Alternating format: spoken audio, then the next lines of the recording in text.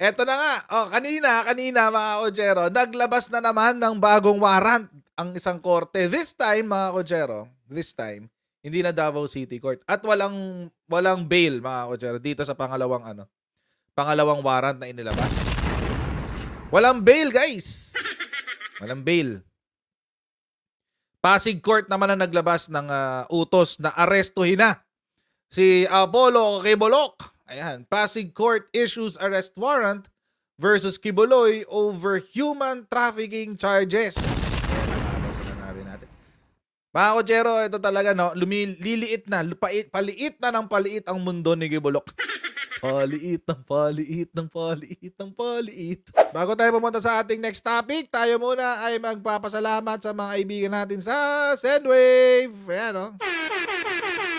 Kung kayo ay nasa US, UK, Canada, Italy, France, Spain, Ireland, and Belgium, may pwede pwede na magpadala ng inyong mga remittances sa Pilipinas. Gamit po ang Sendwave nang wala pong remittance fees yan, mga kutsero. Ang gagawin nyo lang, i-download ng Sendwave app, gumawa kayo ng account, lagay nyo ba account details nyo, at pwede pwede na kayo magpadala sa GCash, sa mga pawn shops, at iba't ibang mga bangko sa Pilipinas. At kapag ginamit nyo pa ang promo code na Coach Jared, ay makakakuha pa kayo ng karagdagang $20 free credit. Kaya gamitin na si Sendwave for all of your remittance needs. Ayan, ganyan na yung mundo ngayon ni Kibulok. O, panood natin yung balita. Dante, saan nagugat ang kaso na yan? At ah, yan ba ay pwede ring ah, piyansahan? Monica, nag-ugat ang kasong ito matapos ngang magreklamo ang isang labing pitong gulang na babae ng 17 umano'y mga old, oh. pang-aabuso. Siya ay minaltrato, pinilit na magtrabaho at pinaniwalang ito ay bahagi ng kanyang ah, paglilingkod sa relihiyon na pinangunahan ni Apollo Kibuloy. At ah, ayon pa sa Department of Justice, Monica, walang piyansa itong kasong ito bilang paglabag sa ating Oh, anti-human trafficking law.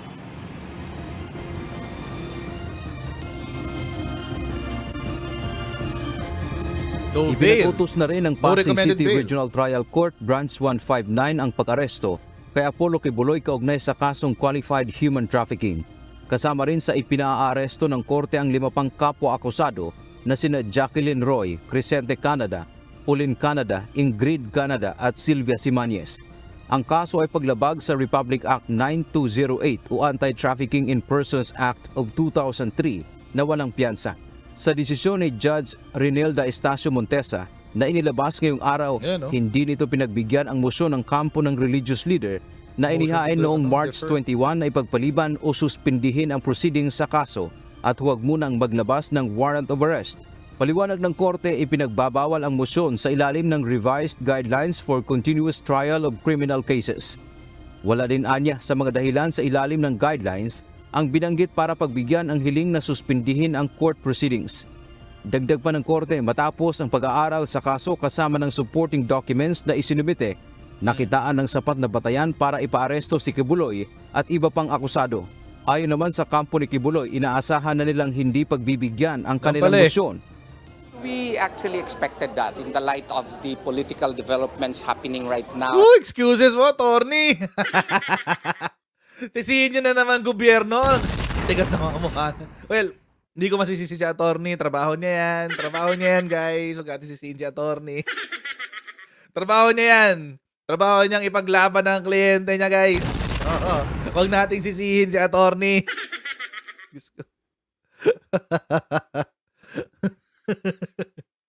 If I'm not mistaken, si attorney Israelito Torion, siya rin yung ano eh, dean ng Jose Maria College, College of Law. Oo, Jose Maria College, College of Law. So, mukhang, nag, mukhang nag-iipon talaga si Kibulok ng mga ano niya, abogado. nagtayo ng eskwela, nagtayo ng law school para ipagtanggol siya someday.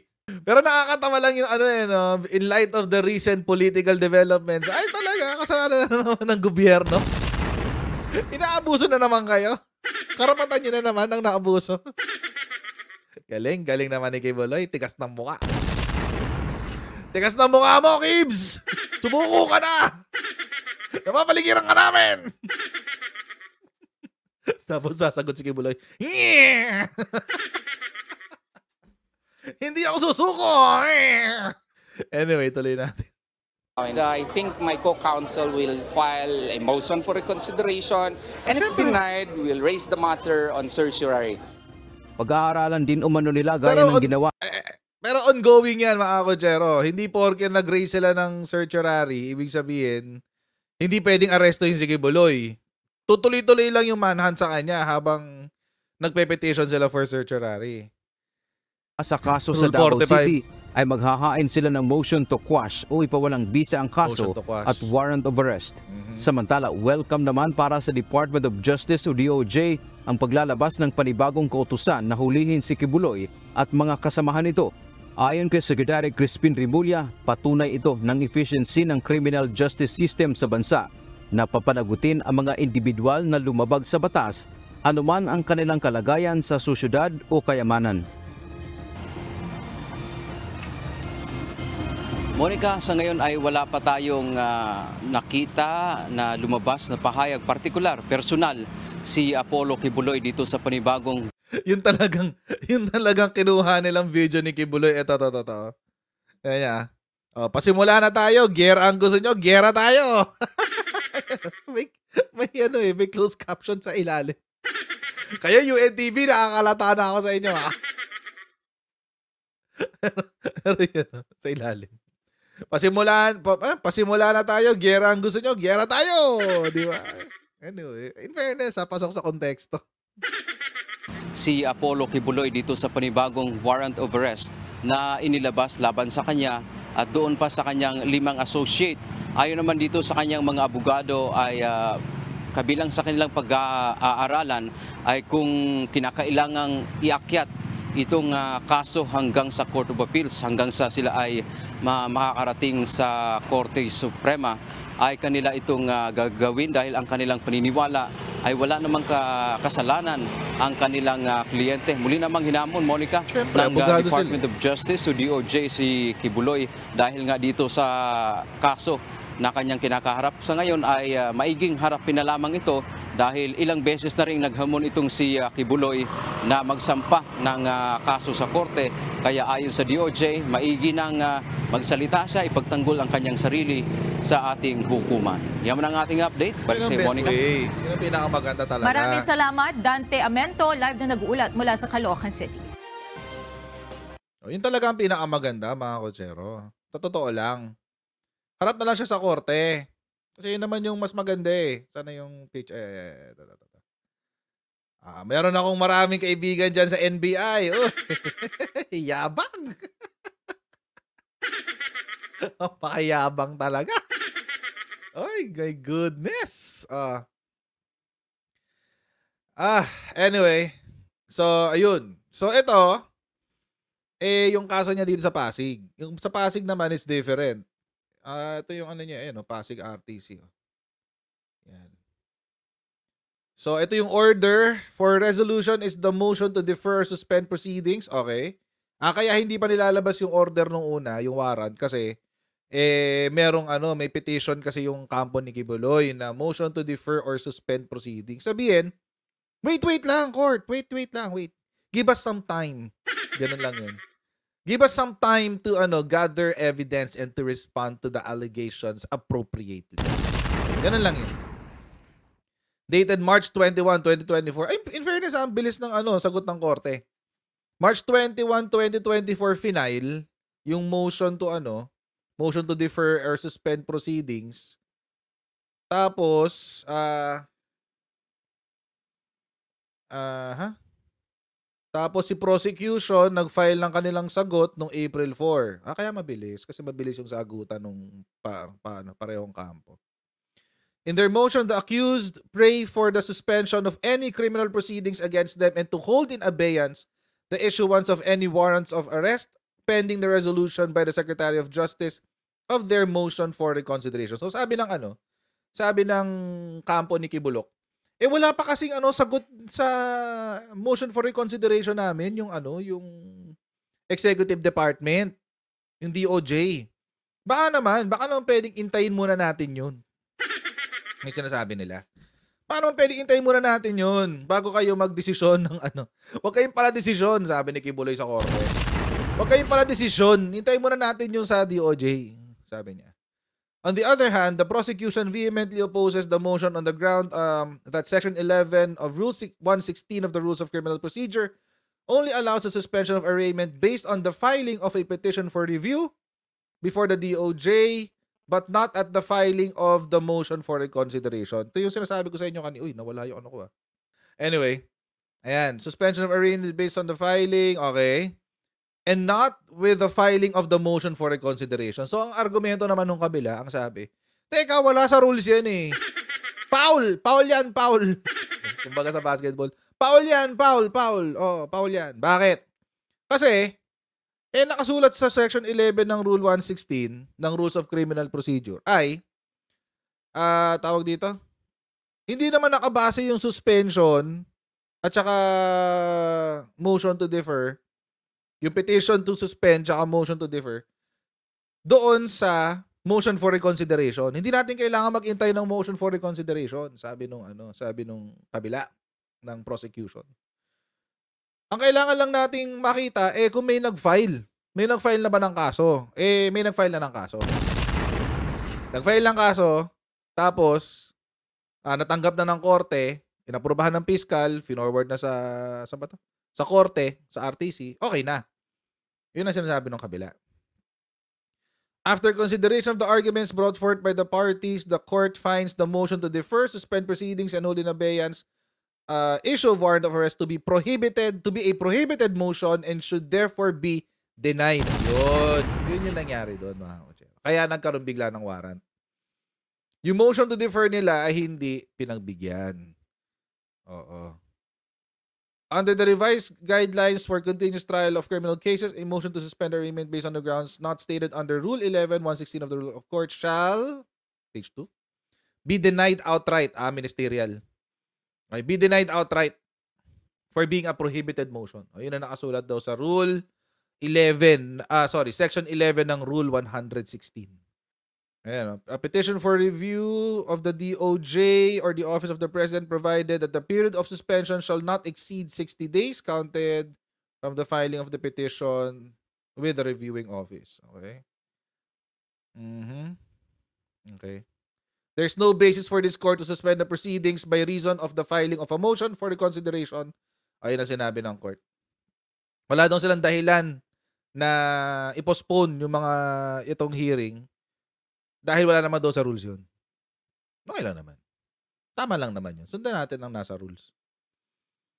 Okay, the standing principle is that once the information is filed, in, pag sinabi natin information mga kutsero, ito na yung complaint, tapos yung response, yung mga, tao dito, petitions, yan. Yan yun yung ano, information.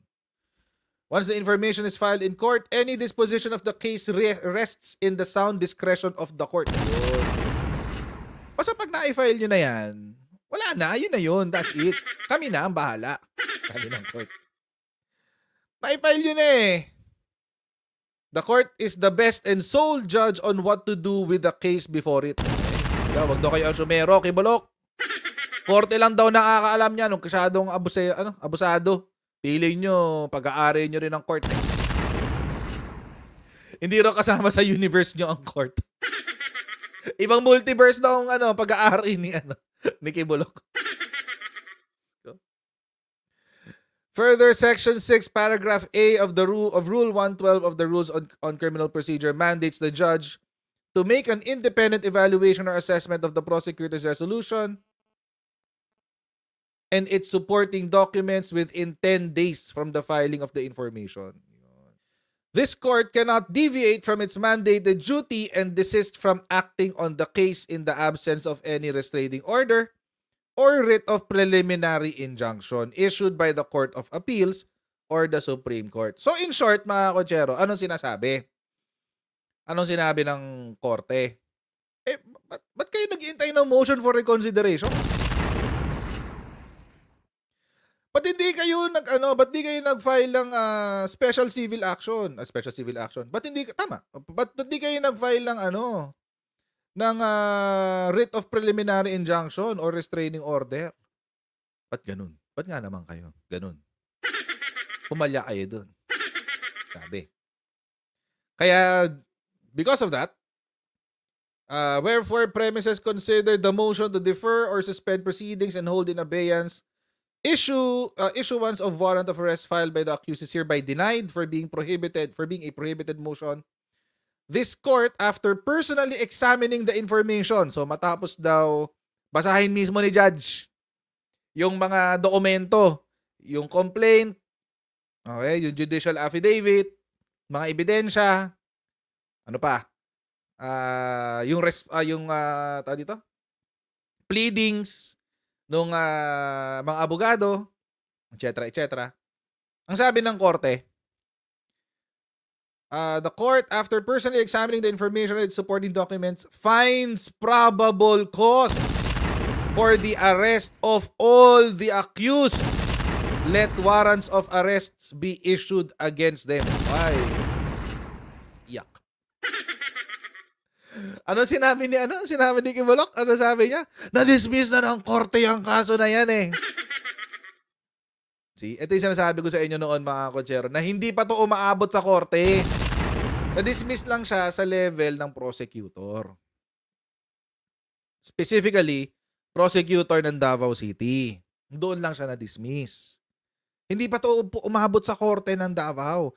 Kaya yung sinasabi ni Kibulok dati and recently, much recently sa kanyang video, napakalaking kasinungalingan noon mga kotsero. Wala pang nadidismiss na kaso. Kasi nga, hindi pa umaabot sa korte. Pero syempre, ano sabi ng abogado, no? Si Torion. Yan. Kibuloy is not a fugitive. Oh, he's not a fugitive daw. Oh, sabi, he cannot be classified a uh, he cannot be classified fully yet as a fugitive from justice because the charge against him is still under question. No, it's not.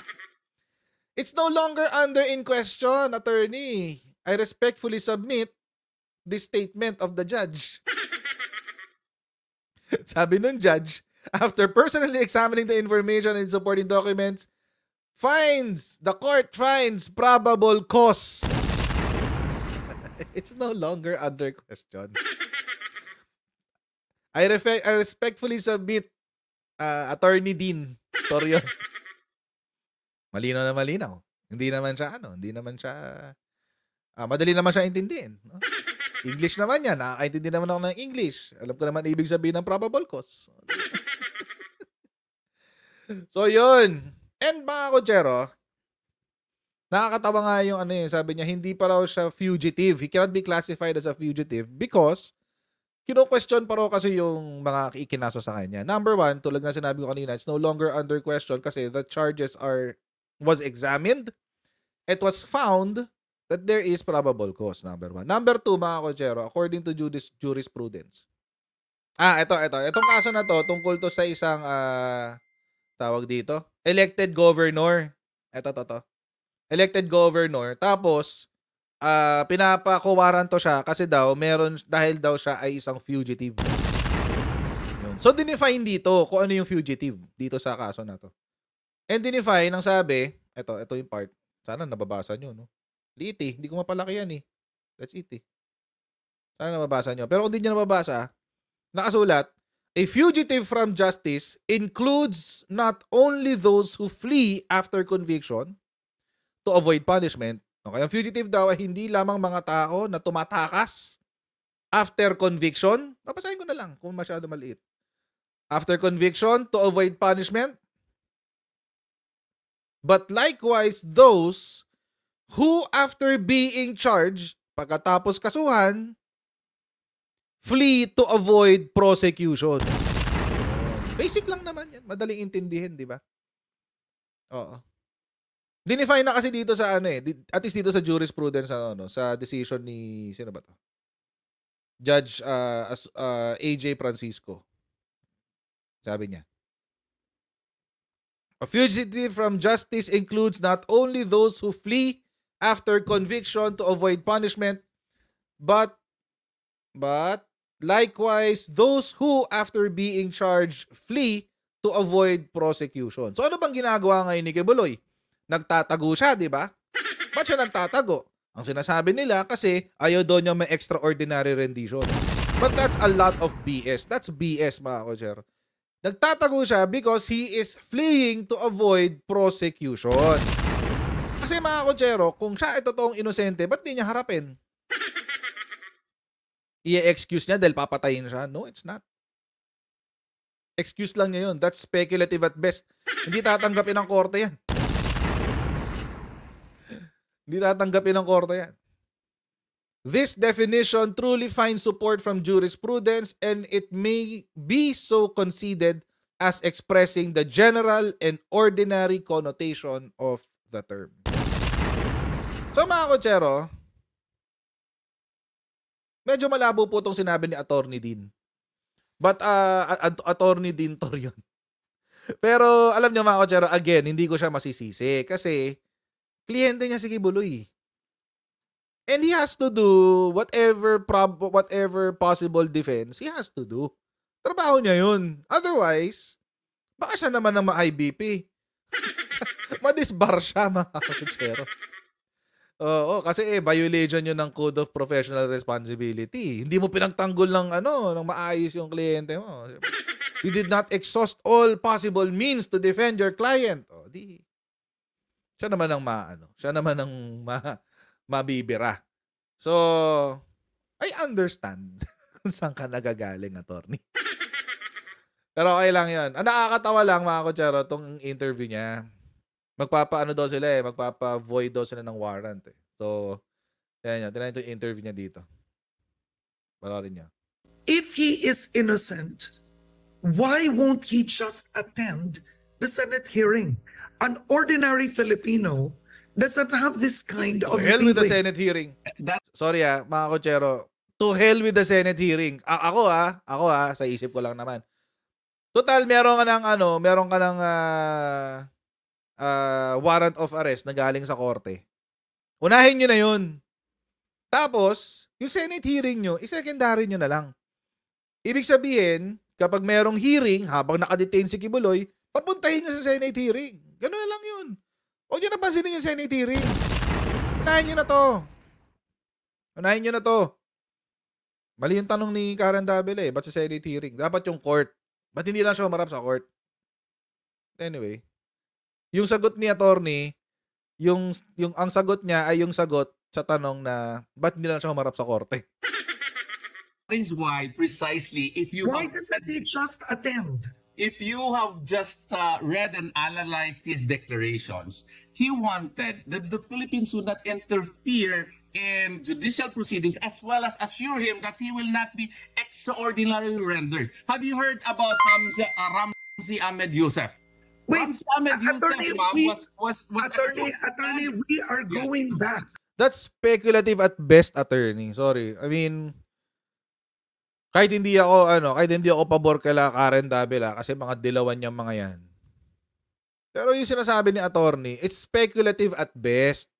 Speculative at best. Ano yung speculative? Ibig sabihin, haka-haka nyo lang yun. Chismis-chismis nyo lang yun.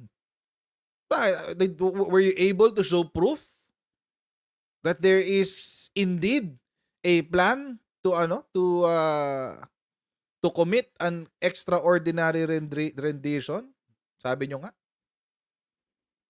Tapos mag-ano kayo magsasabi kayo ng example ng ibang tao yung Yusef whoever that Yusef is.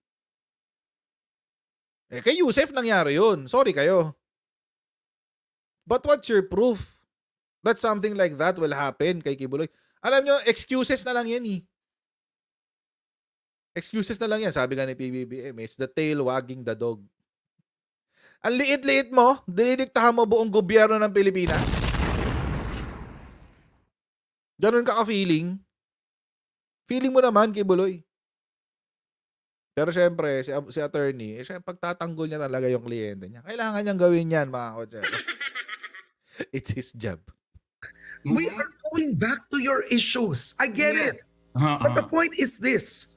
Are you telling me that Pastor Apollo Kibuloy would rather remain a fugitive than attend a Senate hearing? Note, ma'am, that he has still remedies under the law. The charge against him is still under question. No, we not. still have a motion for reconsideration before the DOJ, and I am filing today a motion to quash the warrant of arrest. If the warrant of arrest would be rendered void because the information is void, because the resolution is void, uh, why is it void? Because it violated his right to speedy disposition of cases, so there is no arrest against him. He, he cannot be classified fully yet as a fugitive from justice. Because Wait, wait, wait, wait, wait, wait, wait, wait, wait, wait, wait, wait, wait, wait.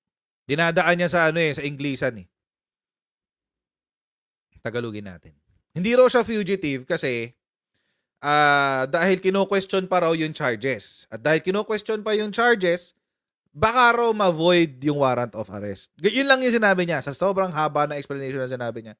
Yun lang naman yun. Baka raw ma-void yung mga yung warrant of arrest because the information is invalid. Okay. Even if that is the case, even if that is the case, even if by by some miracle, no, let's say nagmilagro yung Diyos Diyosan nila at sinabi ng Diyos Diyosan nila, sige, sige, may invalid yung case. Sabi ng Diyos Diyosan nila. May invalidate yung case. Mabuvoid ang warrant, etc., etc. It doesn't necessarily mean that he is not a fugitive now. It doesn't mean na hindi siya pugante ngayon. Pugante pa rin siya ngayon. Bakit? Kasi merong standing warrant. You have a valid standing warrant which can be voided in the future. Yun yun. It can be voided in the future. Oo. If it is possible. Kung maa-argue nyo, oo. Kung maa-argue nyo, pwede. But until the warrant is valid and he is, sinabi naman, may jurisprudence naman tayo. Sinabi ng jurisprudence na uh, ang a fugitive from justice is also a person who, after being charged, flee to avoid prosecution. May valid warrant ka eh. May valid charge ka eh. At nagtatago ka. You are a fugitive.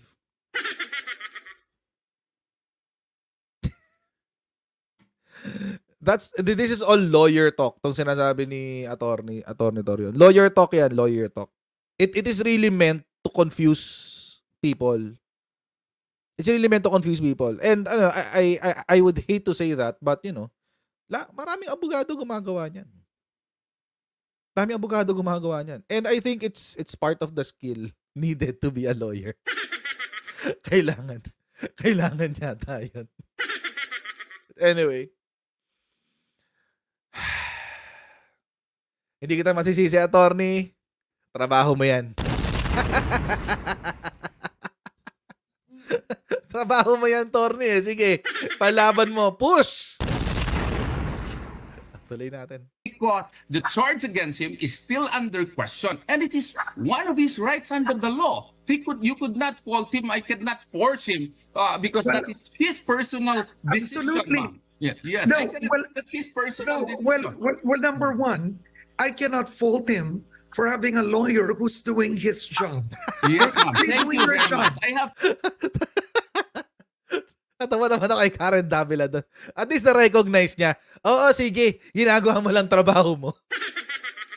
to do my job Okay, number two, but what makes you optimistic that the local courts will quash the warrant of arrest considering he has a warrant? well i am a In the part Hindi, pwede talaga yun, pwede yun. Pwede yun, In pwede yun. other words, in the US, he has a warrant. Ay, hindi, iba what yun. makes you think that Kalimutan the nyo na local- yan. Huwag nyo munang isipin yung sa States. Kasi magugulo yung kwento eh. Huwag nyo muna isipin sa States. Importante nandito sa Pilipinas. At least in this conversation. Um, kung ako yung lawyer, yung nasasabi ko kay Karen, huwag mo problemahin yung Amerika, problemahin lang yung sarili nila. Ah, tao dito. Posible yung sinasabi ni attorney.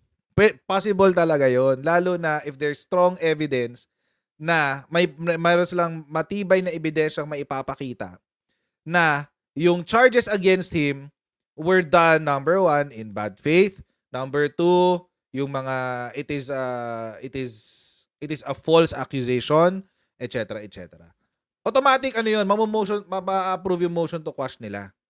Pwede yon nangyari na kay Dilima yan eh. Pero, pero right now, again mga kojero, right now, habang meron pa siyang valid na warrant at siya ay nagtatago, siya ay pugante o fugitive. Huwag nila sabihin hindi siya fugitive because he is. As long as the valid warrant is there at nagtatago siya, he is a fugitive. Court will quash the warrant here. It can be Because argued I am naman a eh. positive man, ma'am. Because of jurisprudence. Because of Kagang versus Sandigan Bayan. Tatad versus Sandigan Bayan. Duterte versus Sandigan Bayan. Because of Katamco versus Sandigan Bayan. Because of uh, Joseph Peñas versus Comelec.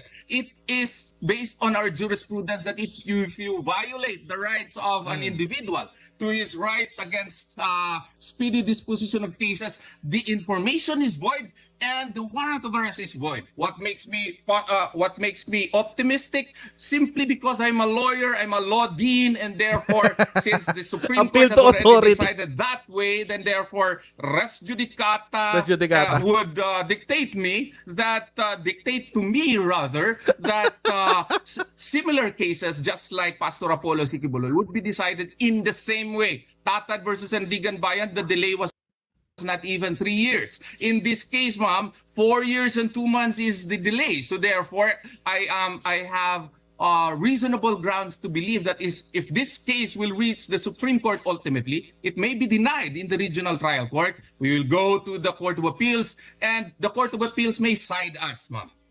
Side with us, rather. Okay. Now, Ay, wait lang, wait lang, wait lang. Nagsabi siya, ang dami niyang sinabing jurisprudence eh. Okay lang naman yun. It, sabi kaya nga sabi ko kanina, it can be argued. Pwede niya namang i-argue yan. But the thing is, mga kotsero, pagdating sa pagsasite ng jurisprudence, tulad ng sinabi niya, res judicata. Pag, pag ano, pagdating sa pagsasite ng mga ganyan, ng ganyang kaso, na kapag ang isang kaso before ay uh, pinag-decide na ng ganitong paraan, di ba, na-dismiss yung kaso dahil nga doon sa sinasabi niyang uh, violation ng uh, speedy disposition of cases. Um, you have to allege, number one, that the facts are the same. You have to allege that the facts are the same. Hindi pwedeng similar lang, hindi pwedeng magka, magkamuka lang o magkatulad lang ng bahagya, etc. No, it has to be absolutely 100% the same. And that's when the same jurisprudence will apply to you. Doon lang yun mag apply yung ah, sinasabi nilang ano, yung ah, res judicata. But the problem here is this, mga kotsero. Unang-una, sino bang nag-benefit sa dismissal ng case sa ano, sa sa tawag dito? Sa prosecutor, sa level ng prosecutor. Who was the beneficiary of that? Dinismiss yung kaso niya, di ba? Sino ang nag-file ng petition for review? Yun ang nag-akusa. Yung prosecution, hindi yung defense.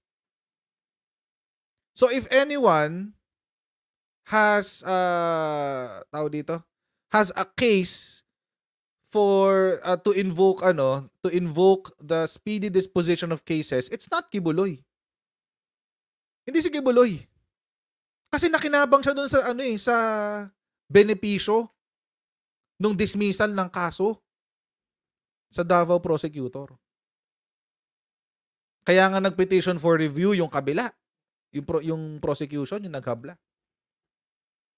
At sila yung natagalan. Imagine, 4 years, 4 years and 10 months, hindi ginalaw yung kanilang ano, yung kanilang petition for review. Sila nga dapat yung nagfa-file nun eh. ng ano, ng ah, ganyang petition. Kasi sila yung hindi ano eh, sila yung naargabyado. Hindi naman si Kibuloy. Si Kibuloy, naging beneficiary siya nung ano, dismissal ng prosecutor. So, I don't think, hindi ko pa nababasa yung mga sinabi niya, no? Hindi ko pa nababasa. Pero, if I, kapag, if I, if I uh, uh, read them by chance, eh, tingnan natin, tingnan natin kung papayag. Kasi dapat similar eh. Kailangan parehong pareho. Similar facts. Pag similar ang facts, o di pwedeng ano, pwedeng pwede mag-apply yung sinasabi ni attorney kung similar ang facts. Kaso, let's see. Let's see. Total naman, may mga binanggit siya na, na kaso. So, tingnan natin, basahin natin yung isa. Kahit isa lang. Para ano, para malaman natin kung magkakapareho sila ng facts. Although, yung uh, speedy disposition of cases, mga kotsero, ito kasi yan. May mga factors dapat. siya. Ito, it, this is another ano decision. Res judicata. Settled na yan. For example, dito, sa speedy disposition of cases, ito yung kagang, binanggit to kanina eh. Binanggit ni attorney kanina, yung kagang versus Sandigan Bayan. Ayan oh. Integrating all relevant jurisprudence on the matter, the court in Kagang versus Sandigan Bayan clarified the mode of analysis in situations where the right to speedy disposition of cases or the right to speedy trial is invoked. Ayan. Ngayon, eto. First, the right to speedy disposition is different from the right to speedy trial. While the rationale for both rights is the same, the right to speedy trial may only be, in, be invoked in criminal prosecutions against courts of law. So, hindi pala disposition of cases. Dapat daw disposition of trial. Speedy trial. Pero pwede rin daw yung disposition of cases kapag in-invoke sa any tribunal, whether judicial or quasi-judicial. Okay? Ito, what is important is that the accused may already be prejudiced by the proceeding for the right to disposition of cases to be invoked. Ibig sabihin, lugi. Meron ng na ano, meron ng lugi o meron ng talo or may naargabyado na prejudiced. Ang importante daw na argabyado yung kliyente na nagfa-file na kailangan na matapos tong kaso na to kasi naargabyado na ako, ganun. Sige, ngayon ang tanong natin, ang tanong natin, mga kotsero, naargabyado ba si Kibuloy? Doon sa pagkaka-delay ng decision. Eh, ewan ko lang. Ito yung mga kailangan ilusot ni attorney, mga kotsero. Ayan, no?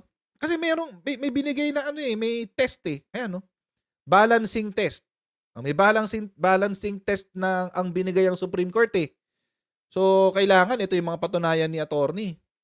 Pero di naman si attorney ng law school. Kayang-kaya niyang patunayan yan kahit ano. kayang-kaya, hindi, di ba niya kayang-kaya patunayan? Kayang-kaya niyang ilaban yan para magmukhang ano, kapanipaniwala. Di naman siya ng law school eh. Tapos pangalawa, okay, the period taken for fact-finding investigation prior to the filing of the formal complaint shall not be included in the determination of whether there has been inordinate delay. Aha. Tapos, mhm, pangatlo, if the delay occurs beyond the given time period and the right is invoked, the prosecution has the burden of justifying the delay. So, halimbawa, ah kailangang sumagot yung kabila ng 10 days. Tapos, ah, hindi sila sumagot. Tapos sinayaan lang ng prosecutor na, hindi, ano siya hindi sumagot. Okay lang yan, ganyan-ganyan. Pwedeng mag-invoke ng ah, right to speedy disposition of cases. Yan. Pwede daw yun. In this case, in this case, pwede yung, yung ano, yung kalaban ni Kibuloy, yung nagkaso sa kanya. Kasi siya yung ano eh, siya yung apat na taon hindi pinakinggan yung kanyang kaso. Imagine, apat na taon siyang hindi binigyan ng hustisya sa kanyang kaso ng DOJ. Yun. Okay. If the defense have the, has the burden of proof, it must prove first whether the case is motivated. Ito, ito, ito yung kailangan patunayan ni attorney. If the case has the burden of proof, it must prove first whether the case is motivated by malice or clearly uh, or clearly only politically motivated and is attended by utter lack of evidence and second that the defense did not contribute the delay. So ibig sabihin, so kung, kung si uh, in this case ang defense ay si Kibuloy. So si Kibuloy ngayon ang ano. Kung sinasabi niya na na-violate ang kanyang karapatan for speedy disposition of cases, kailangan niyang patunayan na merong mali siya. May malice yung uh, pagkaka-delay ng kanyang kaso at politically motivated lang ito. Yun. Ang problema dyan, mga kotsero, balik tayo dun sa una nating sinabi. Siya ang naging beneficiaryo ng pagka-dismiss ng court ng ah, korte ng ah, fiscal sa kanyang kaso. Apat na taon siyang benepisyaryo nun. So, meron naman talaga mga jurisprudence na. Pero again, mukhang ma- ako lang naman to, opinion ko lang to. I'm not a lawyer yet. I'm um, I'm still studying uh, law. Pero, base dun sa ano, observation ko lang naman. Base sa aking opinion, mukhang ano, mukhang mala- mahihirapan siyang i-argue yung speedy disposition of cases. Dito. Mali natin, iba yung tingin ng ano, ng judge, di ba? Pwede naman ganun. On that note, I think at the end of the day, moving forward, you will file a case. But what does Pastor Apollo Kiboloy plan to do? He's Well, just gonna um, remain in hiding. he already declared his uh, some may not like the word that he demanded the uh, but actually there is legal basis to it because uh, that's pursuant to the social contract theory. Um, but he still has uh, remedies under the law as what i have already uh, told you. And it is within his personal right to decide whether or not to face the case or not. Um, a similar case can even be cited. Uh, I think uh, Senator Lacson likewise uh, faced the same um, situation in the past, and the resolution against him was declared as. Uh, uh, his case was dismissed in the Court of Appeals for lack of probable cause. There are other uh, cases likewise in the past whose cases whose probable cause was uh, likewise uh, uh, found not to be uh, present uh, by the Court of Appeals and even the Supreme Court. So perhaps, just Yeah, perhaps, I cannot okay. speculate. This is one also of the um, remedies that are being expected by Pastor Apollo Sikibuloy uh, so that his innocence can be proven without him um, actually surrendering. It's his option, ma'am. No, it's not an option. On that note, um, thank you so much for joining me today. It, it, it's it's it's not an option. Kapag ano, kapag lalo na sa mga criminal case. Halimbawa kayo, bawa. Um, bawa ninakawan kayo.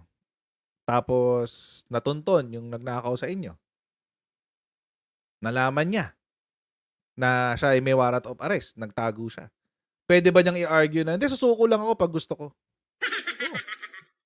It doesn't work like that. Alam ni attorney yan. Pero dahil trabaho niya yan, trabaho niya yung pagtanggol si Kibuloy, eh, ganyan yung sasabihin niya. No, but no, it's not. Once you are, once merong charge sa'yo, kaya nga naglalabas ng warrant eh. Ay, shucks. Kaya nga naglalabas ng warrant eh. Once meron charge sa'yo, ibig sabihin, you are obliged or you're obligated to face the charges. Kaya nga may warrant eh.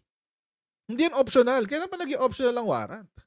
Eh, maski nga sa civil case, eh, pag hindi ka humarap sa korte, madi-default ka. Talo ka by default. Civil case yun. How much more sa criminal cases? Pero syempre, sa criminal case, kailangan talaga dyan may appearance. It is part of due process. Kailangan nandun ka. Hindi pwedeng ano-ano ka lang. Na meron lang ako representative, etc. etc. So, ayun mga kutsera, maraming maraming salamat sa inyong patuloy na pagsubalit sa ating channel. Huwag niyo po kalimutan mag-subscribe sa ating Kutsera YouTube channel. Pa-follow tayo sa ating Facebook page para lagi po kayo updated sa mga ganap sa aking ah, buhay at sa aking channel. And I'll see all of you in the next Kutsera Live. God bless you next time. Bye!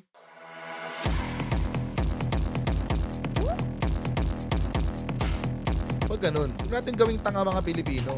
Mas maganda kasi nasa lugar ka ng tama kaysa yung pinipilit mo yung pagkakamali.